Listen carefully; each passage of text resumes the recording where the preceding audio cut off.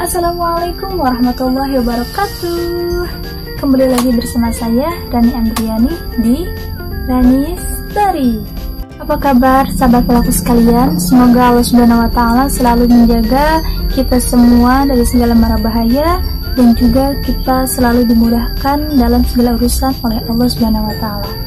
Amin. Sahabatku sekalian, kerudung ataupun hijab merupakan hal yang wajib dan harus digunakan oleh seluruh muslimah di dunia.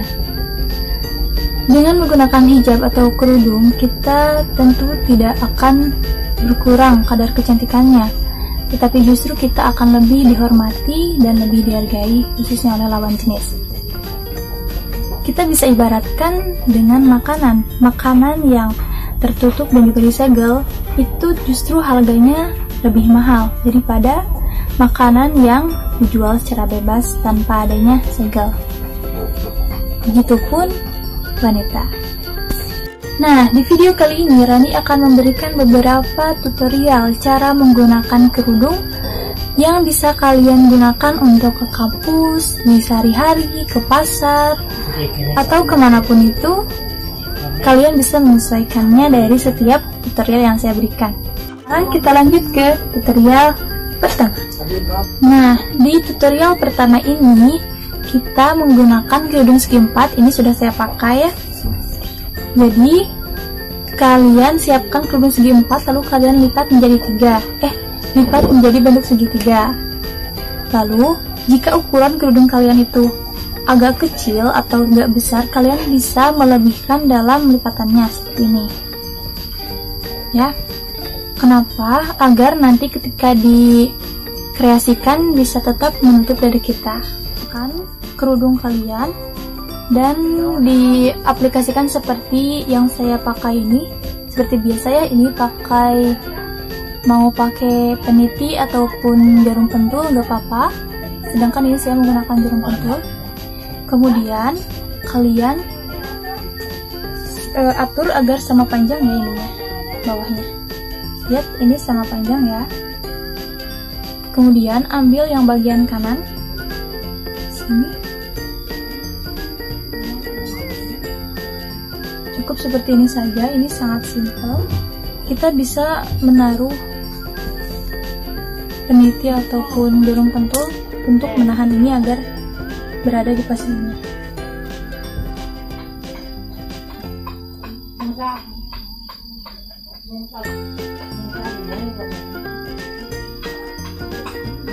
Sudah. Ini tentunya sangat simple dan kita cukup hanya menggunakan dua niti saja. Di sini dan di sini. Ya, belakangnya. Belakangnya pun sama besar. Nah, di tutorial kedua ini kita membutuhkan tiga jarum atau tiga peniti. Jadi untuk di sini satu, kemudian kita ambil bagian yang kiri kita tarik ke bawah. Kita taruh ke sini. Kita kasih lagi peniti ataupun jarum pentul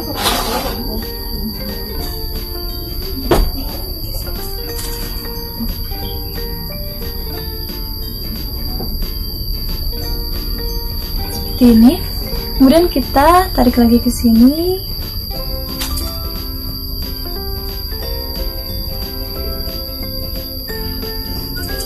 kita kasih lagi. Peniti ataupun jarum pentul ataupun kalian suka pakai brush gak apa untuk menahan ini.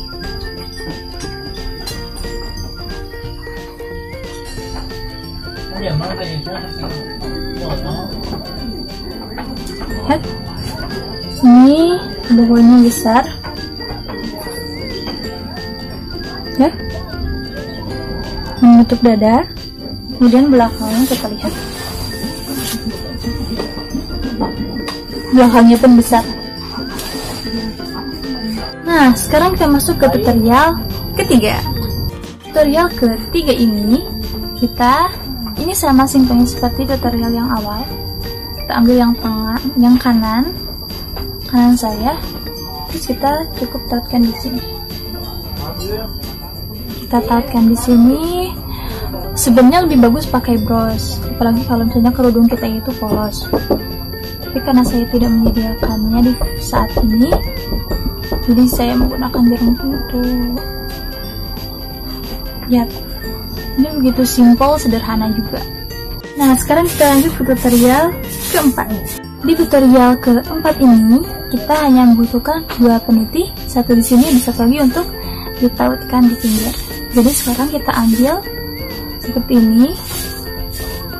Kemudian kita tarik. Terserah kalian mau ke kanan atau ke kiri tapi kalau disuka untuk ke kiri. Kita harus atur agar bawahnya rapi. Seperti ini. Kemudian kita beri lagi peniti ataupun jarum pentul ataupun brush juga bisa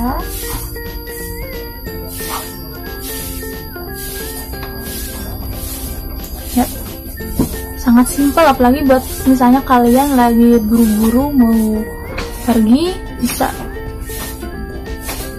Lihat. Sekarang kita lihat ini sangat menutup dada kita ya. Terus belakangnya juga kita lihat.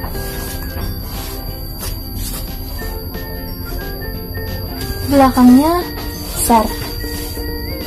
Nah, di video yang kelima ini kita akan mengubah posisi kerudungnya. Tadi kan sama panjang ya, sekarang kalian ubah jadi beda.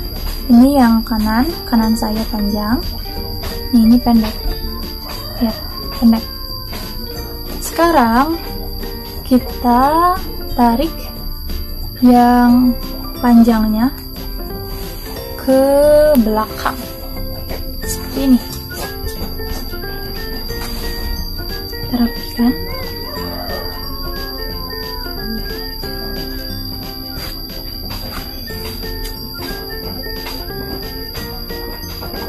setelah dirasa rapi kita bisa beri peniti ataupun jarum pentul di sini. Ya.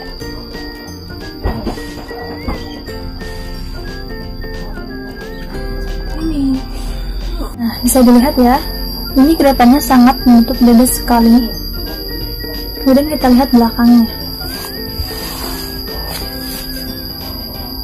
Belakangnya. pun cukup besar dan tidak terlalu kecil.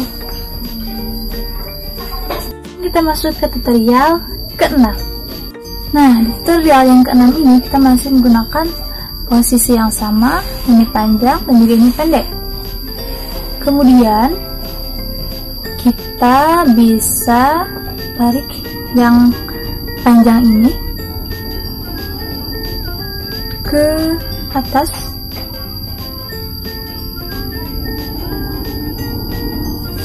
kemudian tarik yang bagian belakangnya.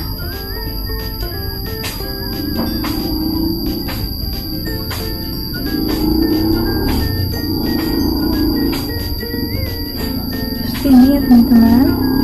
Kita kasih dulu jarum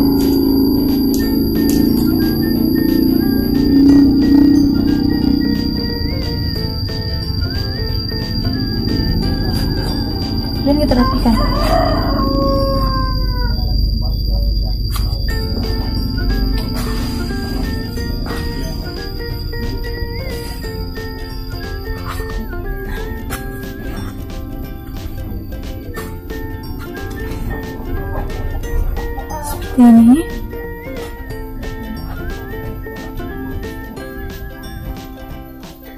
Nah sekarang kita akan melihat posisi kerudung di depannya bagaimana. Ya ini memang ukurannya lebih kecil dari yang tadi tapi ini masih tetap bisa menutup dada kita. Kemudian kita lihat belakangnya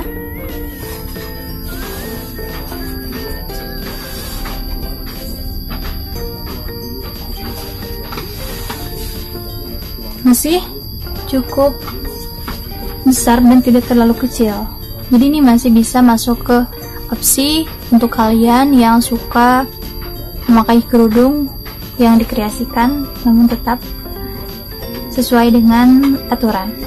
Sekarang kita tiba di tutorial terakhir yaitu tutorial yang ketujuh. Kita posisinya masih sama ini panjang ini pendek. Sekarang kita buka dulu ini terus kita tarik ke sini ke atas. Ke arah yang panjang ya.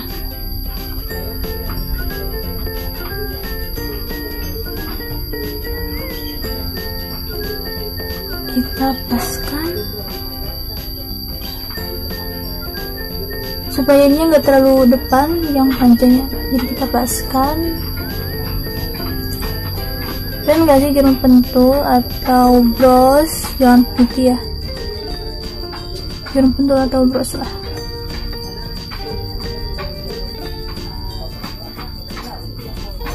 Setelah ini kita tarik yang panjang ini ke belakang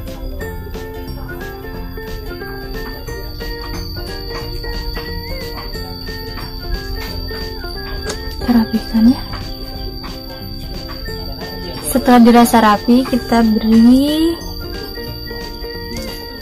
peniti ataupun jarum pentul.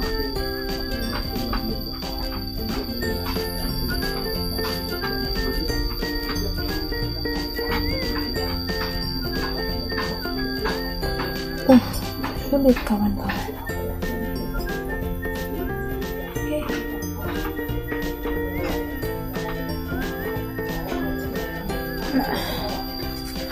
seperti ini.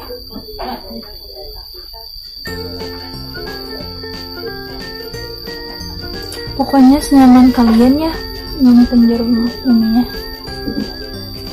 belum nyaman.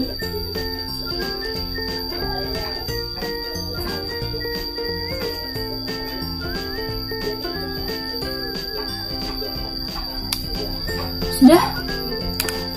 Seperti ini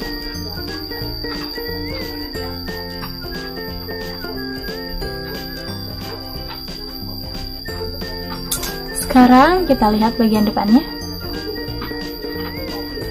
Yuk, ini sangat menutup dada sekali. Sekarang kita lihat yang belakangnya.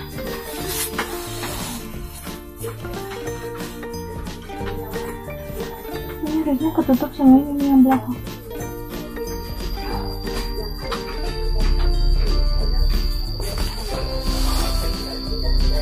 Belakangnya pun cukup besar dan juga tidak terlalu kecil. Nah itu dia tadi beberapa tutorial yang bisa saya share kepada kalian.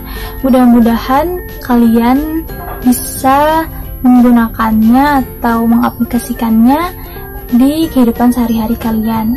Semoga apa yang saya share ini bermanfaat.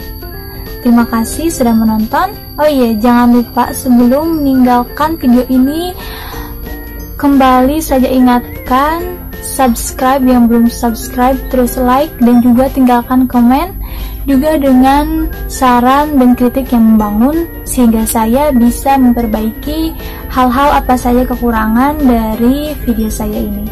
Terima kasih. Wassalamualaikum warahmatullahi wabarakatuh.